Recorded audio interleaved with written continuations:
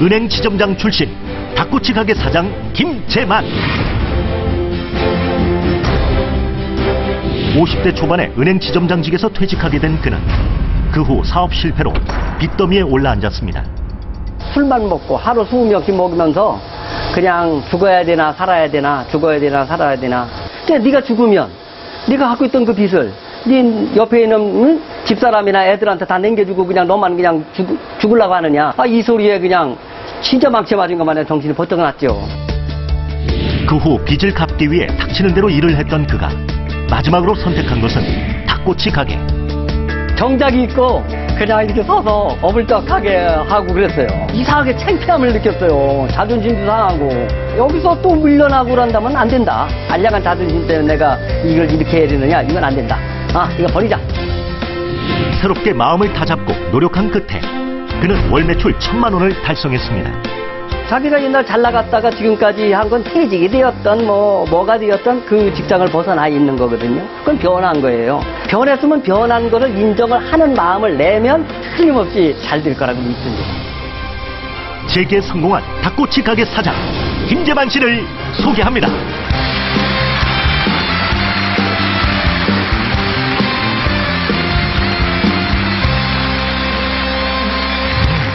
아유, 어서 오세요. 지금 뭐 나오실 때 이렇게 인상이요. 웃는 얼굴이 너무나 정말 좋습니다. 그런데 그러지 않아도 손님들한테 잘 웃는 사장님으로 이렇게 통한다고 그러는데 맞죠? 글쎄요, 지금은 그런데 제가 네. 좀 눈빛이 좀 강렬한가 봐요. 아, 그러셨어요? 예. 아닌데, 아닌데. 그래, 네. 이렇게, 뭐, 별 마음 없이 쳐다만 봐도, 예. 그, 바라 상대편에서 시비를 걸고 이랬었거든요. 아, 그래서 예. 웃는 연습을 많이 했습니다. 연습하셨어요? 연습했죠. 웃는 연습은 어떻게 해요? 거울 보고 이렇게 항상 웃는 연습을 해요? 예, 거울도 보고 연습하고, 세수하다 세수 태야 보고도 연습하고, 정말 웃는 연습, 어. 아주 죽을 만큼 열심히 해갖고, 그나마 조금 인상이 웃는다 고 합니다. 아, 네. 연습하면 되나 보죠, 그게 다. 글쎄요. 저는 나오기 전에 항상 여기서 뭐 연습하다 나오나면 입꼬리 올리는 거 연습하다 나오는데 아. 나오기만 하면 쳐져요. 우세지 우세. 근데 연습한다고 그게 되는 게 아닌데 그거는 역시 심성이 좋으시기 때문에 그게 저절로 그렇게 되는 거거든요. 감사합니다. 네. 오늘 그 하실 얘기가 그리고요 내 인생의 연장전이에요. 근데 연장전에 관한 강의 어떤 얘기가 될까요, 강연이? 아, 예. 네. 그 뭐 연장전이라고 얘기한 건, 네, 제가 은행을 그만두고 사업을 하다 부도가 난 적이 있어요. 네. 그때 제 아들이 저한테 한 얘기가 있기 때문입니다. 어, 떤 얘기를? 제가 축구를 좋아하는데 네. 아들이 저한테 이런 얘기를 했어요. 아버지, 2002년 월드컵 예. 이탈리아전 아시죠? 어, 네, 이탈리아전이요. 아우, 네. 대단했었죠. 그랬더니 네. 그때 그 스타인 안정환 선수가 네. 페널티 킥을 실축하는 큰 실수를 했지 않습니까? 아, 예. 그런데도 그 포기하지 않고 아주 끝까지 뛰다가 네. 결과적으로 결론적으로는 연장전에 골든골을 놓고 국민들을 다 기쁘게 하지 않았습니까? 하는 그런 말을 듣고 제가 용기를 갖고 일을 하게 된 겁니다. 아, 그러니까 인생에서 전 후반을 잘 못 끝냈다 하더라도 인생에도 연장전이 또 있지 않습니까? 예. 연장전에서 결승골을 넣는 사람이 결국 승자가 되는 거죠. 자, 그러면 어, 내 인생의 연장전 과연 어떤 얘기인지 그 얘기를 귀를 기울여서 듣겠습니다. 얘기 시작합니다. 네.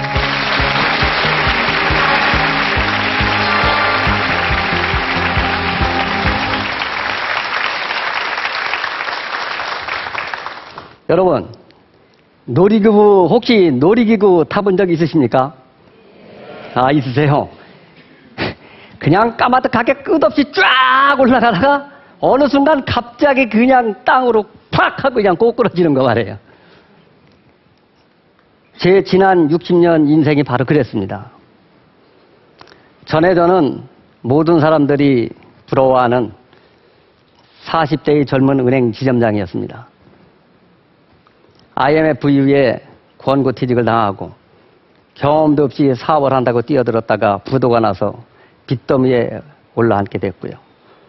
여러 직업을 전전하다가 죽을 뻔도 했습니다. 그런 세월을 거쳐서 지금은 닭꼬치 장사로 자리를 잡아서 다달이 그 빚을 갚아나가고 있습니다. 내 인생이 끝났구나 라고 절망 좌절했는데 새로운 희망이 보이는 것이었습니다. 좌절하지 않고 저에게 찾아온 연장전을 열심히 뛰었더니 정말로 이 승리가 눈앞에 이렇게 보이는 것 같습니다. 전반, 후반을 지나 연장전에서 제가 느끼고 깨달은 것을 말씀드리고 싶어서 나왔습니다.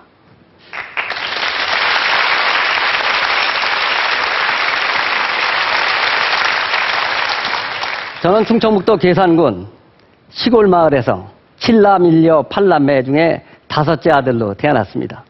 보시다시피 체격이 왜소하고 기운은 없는데 어렸을 때부터 아마 머리는 조금 좋았는지 부모님이 보기에 이건 가르치면 되겠다 싶었는지 저를 시골에서 청주에 있는 학교로 유학을 고등학교를 보냈습니다. 그 당시 부모님의 꿈은 제가 은행원이 되는 게 꿈이었습니다. 왜냐하면 그때 고졸 은행원 봉급이 고등학교 교장 선생님보다도 많았으니까요. 은행원만 되면 그 궁핍했던 시골 살림이 확 필 거니까요. 열심히 공부했습니다. 그래서 전국에 있는 상업학교, 그 많은 학교 중에서 5대 명문 상고라고 하는 청주 상고를 최우등으로 졸업하는 정도로 공부도 했습니다. 그런데 저는 은행원이 되기가 싫었습니다. 왜냐하면 어렸을 때부터 꿈이 진짜 군인이 되는 게 꿈이었습니다. 개 졸업을 하고 방황하다가 군대를 갔고 제대를 하고 나서 무역회사에 들어갔습니다. 70년대 후반에 제2차 석유 파동이 일어났고요. 회사가 어려워져서 부득이 은행 채용고시에 응시를 해서 합격을 하고 은행원이 되었습니다. 빙 돌아왔지만 부모님이 원하시던 은행원이 된 것입니다. 제가 원하는 건 아니었지만은 은행원이 되고 나서는 정말로 열심히 일했습니다. 한 번 하면 끝장을 보고야만은 제 성질이 아마 작용한 것 같습니다. 남들이 가기 싫어하는 부진한 엄- 점포는 무조건 제가 자원해서 갔습니다. 그런데 제 고향에 있는 은행 점포가 문을 닫게 되었다는 얘기를 듣고 거기도 자원했습니다.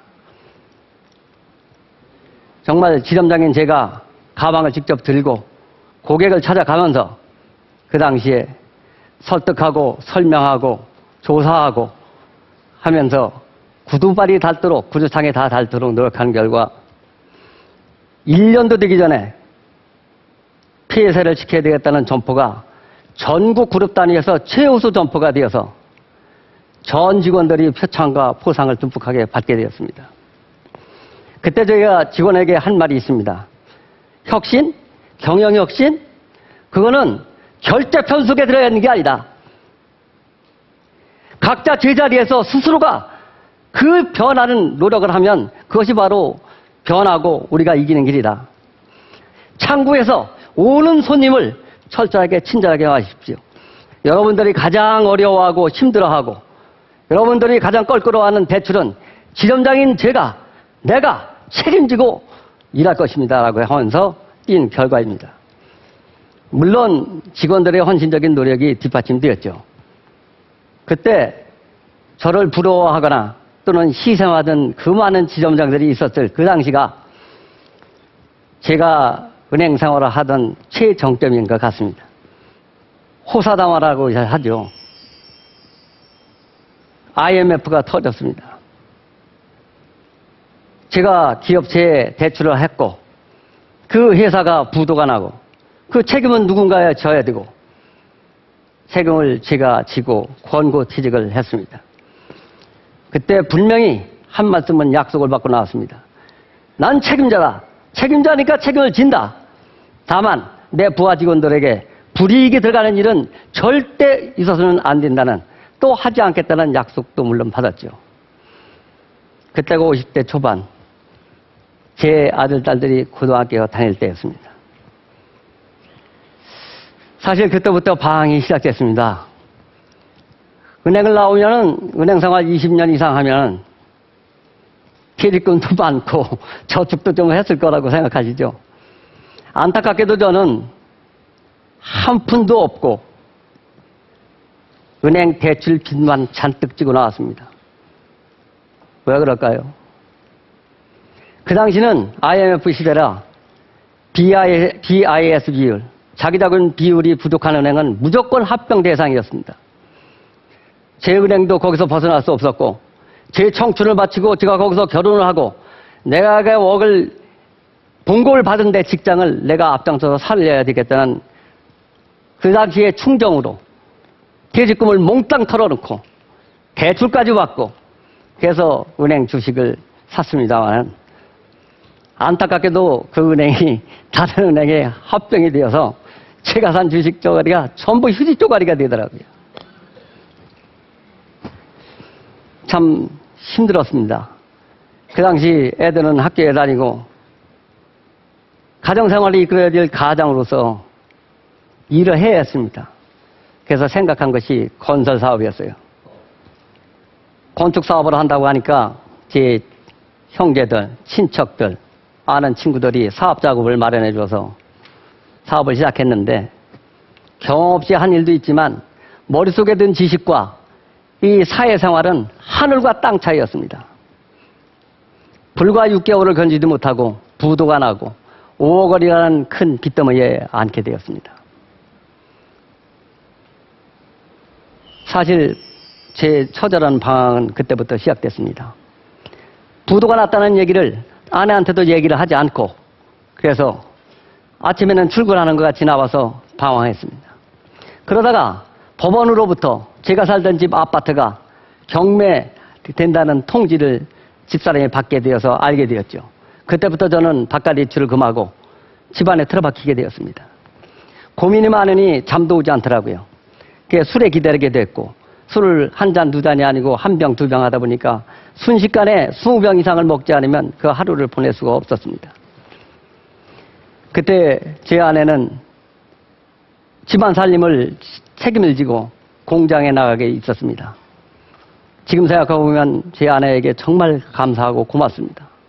왜냐하면 그 당시 저를 그대로 내비둬 두었기 때문입니다. 제 성질을 알기 때문이죠. 그때 만약 잔소리를 했거나 어떻게 저를 압박을 했다면 지금의 저는 없었을 것이라고 생각합니다.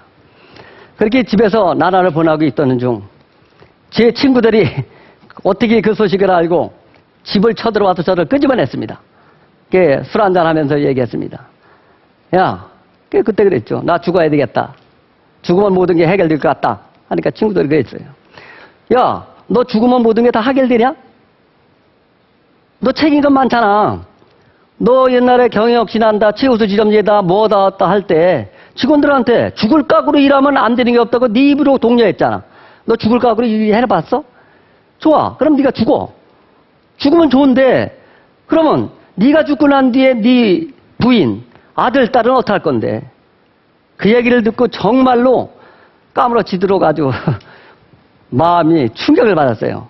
아주 제가 나쁜 놈이라고 생각했습니다. 일은 내가 저질러 놓고 일이 어려워지니까 저 회피하는 못난 놈으로 생각이 되어서 해안의 눈물로 엄청 더 많이 울었습니다. 그러고선 다시 정신을 차려서 친구가 운영하는 보험회사를 들어갔습니다. 보험 설계사를 하면서 택시기사도 했고요. 그 다음에 플라스틱 재생 공장에서 삽질도 했습니다. 그렇게 열심히 일을 닥치는 대로 하기는 한 것까지는 좋았는데 안타깝게도 제 건강이 악화된 것이에요. 저녁에 잠을 자려고 누우면 온몸에 쥐가 나고 그 수많은 기침에 잠도 못 이루고 몸은 점점 말라가니까 제 아내가 울면서 얘기했습니다. 여보, 당신 일 멈추고 요양해야 돼. 죽으면 아무 소용 없잖아.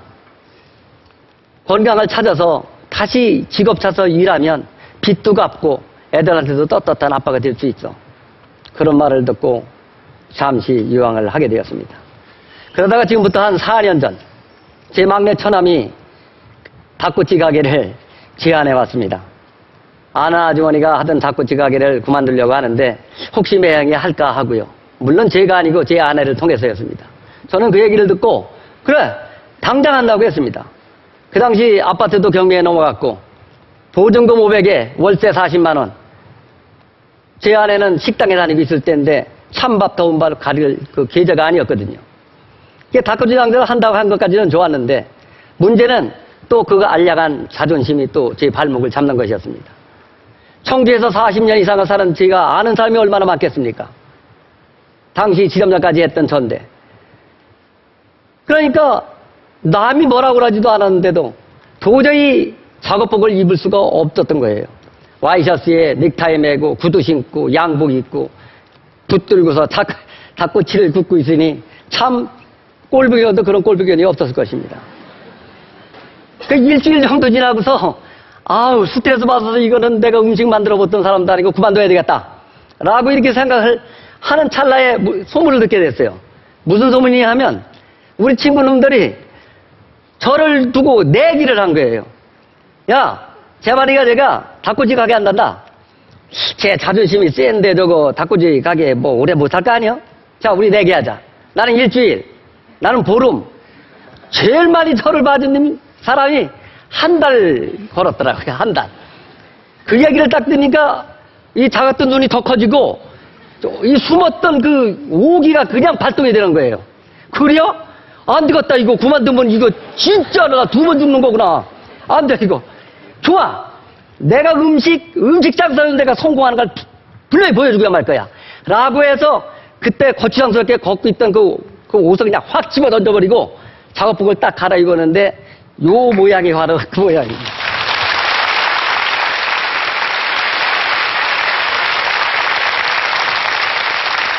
그래서 마음을 내서 내가 잘할 수 있는 일을 생각했습니다.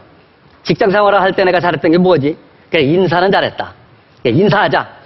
어른, 아이, 노인, 여자, 남자, 뭐, 할 거 없이 눈에 보이면 한 번, 두 번, 세 번 보이는 대로 인사하자.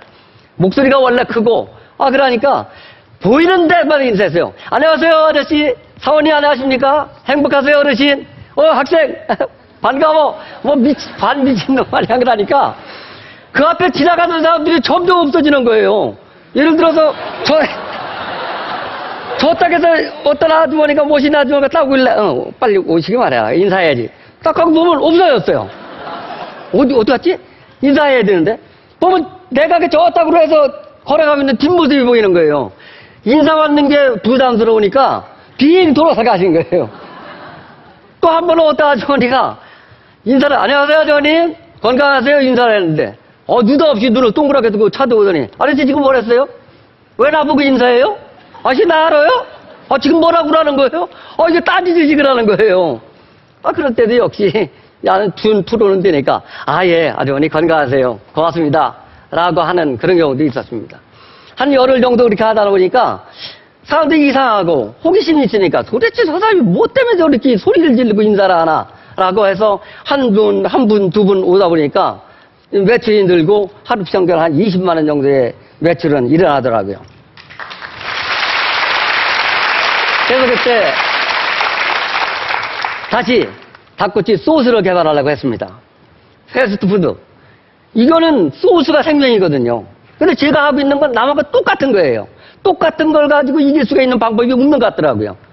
그래서 야 소스를 개발해야 되겠다.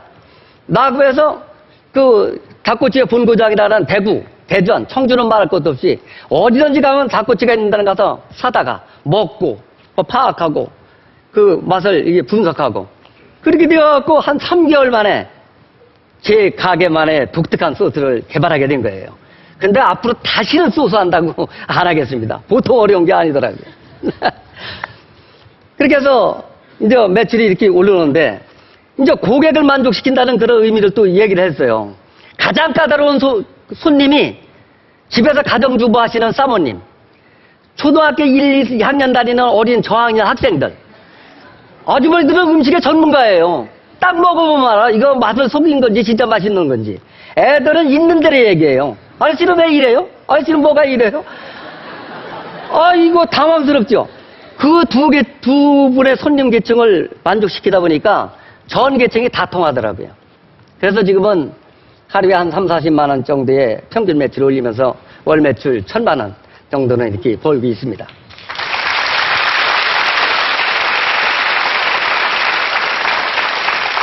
그- 그렇게 번 돈으로 꾸준히 빚을 갚아 나갔죠.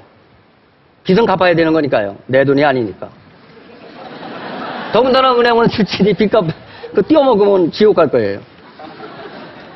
그렇게 해서 거의 다 갚고, 지금 한 1억 정도 남았는데, 한 앞으로 뭐 농사 잡고 2년 정도가 되면은 다 갚을 것 같습니다. 그때는 자유인이 저도 되겠습니다.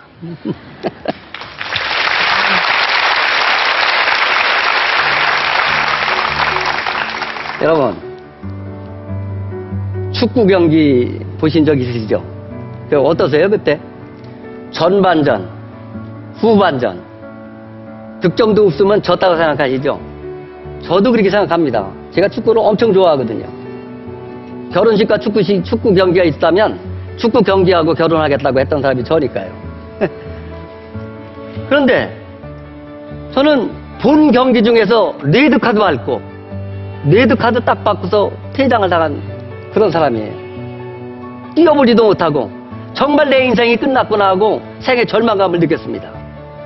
그 후에 건설업체 하다가 부도 났죠.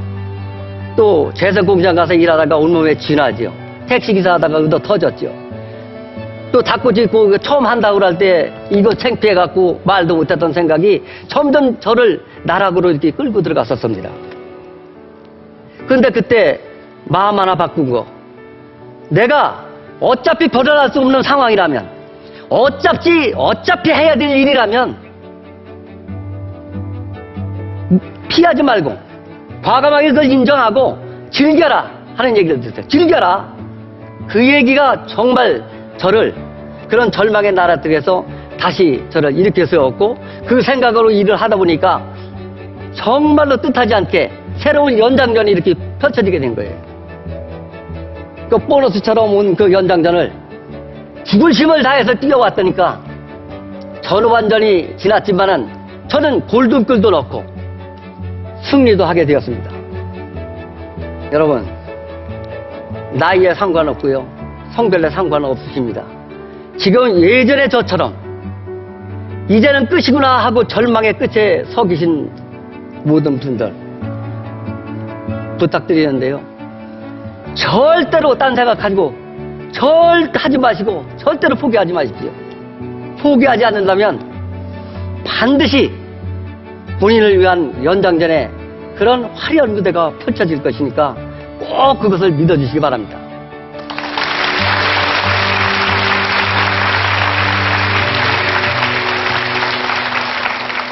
이거 두서없이 막, 이 말씀을 드려서 죄송합니다. 끝으로 여러분들께 제가 늘 인사하는 것을 한번 인사를 드리면서 끝마칠까 합니다. 저는 이렇게 인사하거든요. 안녕하세요! 아저씨! 사원님! 늘 건강하세요! 안녕하세요! 안녕하세요! 사모님! 사장님! 어르신! 늘 행복하세요! 감사합니다.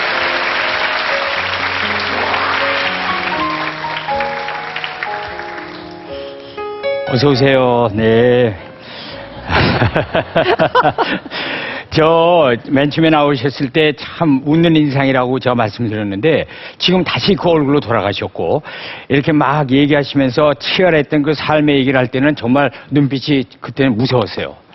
네. 그때 정말 눈빛이 있었습니다. 아, 근데 그런 눈빛이 있었기에 또 가능했던 것이 아닌가 싶고요. 어, 오늘 이 자리에 오기까지 제일 고마웠던 분 하면은 누구를 꼽고 싶으세요? 물론 뭐 많이 계시겠지만. 제가 바깥에 나왔다가 들어가면 꼭 저를 세 번씩 하는 우리 집사람입니다. 네. 아까도 말씀 들어보니까 침묵, 그리고 이해가 늘 그냥 그 사모님께서 그렇게 해주셨던 것 같아요. 그렇죠? 예, 정말 고맙습니다. 그러면 앞으로 진짜 끝까지 잘해주셔야 됩니다. 예, 목숨 바쳐 잘해. 네, 그리고 아까 보니까 2년 안에 빚을 다 갚을 수 있다. 예. 그러셨죠. 얼마나 개운하시겠어요. 얼마나 그 결국은 그 노력의 산물이 되겠는데요.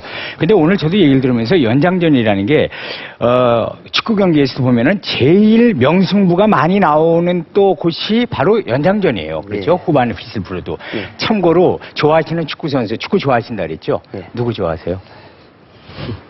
우리나라 축구 선수 다 네. 좋아합니다. 아, 다 좋아하세요. 네, 네. 외국 선수는요? 네? 외국 선수. 외국 선수는 아직 좋아하지 않습니다. 아, 네. 어, 닭꼬치를 사 먹으러 그렇게 하는 어, 건데. 좋아할 선수 우리나라에도 넘치는데 거기는 왜 외국 선수까지 좋아해요? 네, 맞습니다. 자, 아무튼 오늘 그 얘기를 듣고 참 느끼는 게 많습니다. 자, 전 후반 휘슬을 불었다고 경기가 끝나는 건 절대 아닙니다. 이제부터 연장전이 또 기다리고 있습니다. 자, 100분의 공감 의견단 버튼 잡으시고요. 버튼 눌러주세요. 볼까요? 오늘 말씀해주신 김재만 씨의 내 인생의 연장전 강연의 공감 온도 보겠습니다. 공감 온도는 몇 도가 될까요? 자, 온도 올라갑니다. 95도를 기록했습니다. 감사합니다. 네. 연으로 건강을 되찾다 성원 스님 강연 주제 아주 특별한 연의 공감 온도는 93도. 장모에게 간이식해준 사위 김대호. 강연 주제 장모 사랑은 사위의 공감 온도는 96도. 은행 지점장 출신 닭꼬치 가게 사장 김재만. 강연 주제 내 인생의 연장전의 공감 온도는 95도였습니다.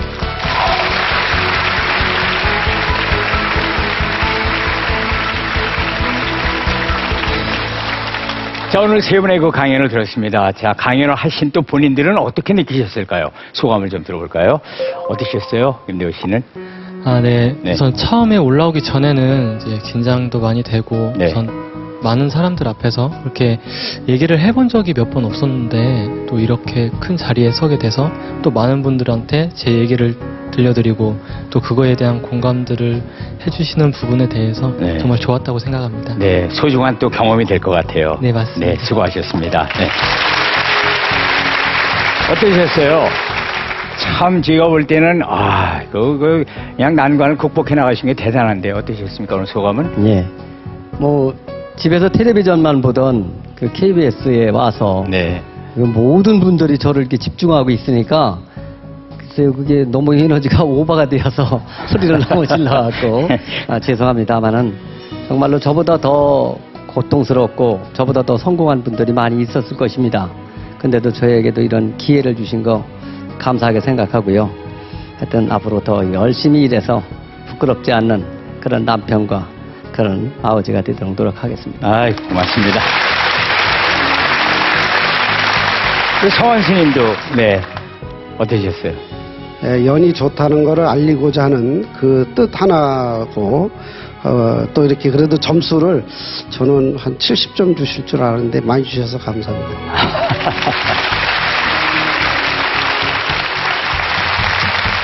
자, 세 분 정말 수고 많이 하셨습니다. 어, 때로는 그 길을 잃어버렸다고 생각했을 때, 어, 더 다른 길이 눈에 보일 때도 있습니다. 그리고 어떨 때는요, 잘못 들어섰다고 생각했던 그 길에서 뜻밖의 행운을 만날 수도 있습니다. 여러분, 용기 잃지 마시고 언제나 길을 잘 찾도록 한번 눈을 크게 뜨고 찾아보시기 바랍니다. 저희 강연배 또 씨는 여기서 인사드리겠습니다. 감사합니다.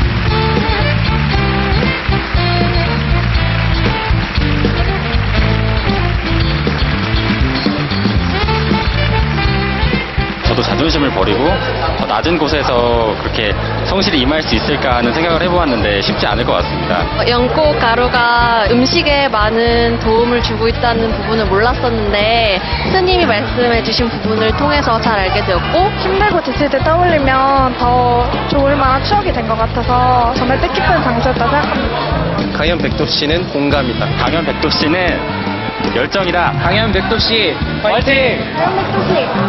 강현 백두 씨 화이팅!